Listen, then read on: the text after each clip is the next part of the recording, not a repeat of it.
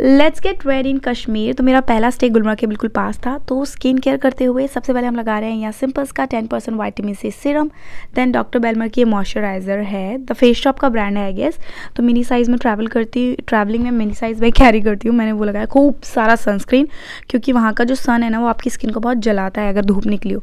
View में enjoy कर रही थी मॉर्निंग में मैं रेडी हो रही थी, और उसके बाद मैंने ये लगाई डमाको की बीबी क्रीम सच में बहुत अमेजिंग है, जाके ले लो, पसंद आ जाएगी।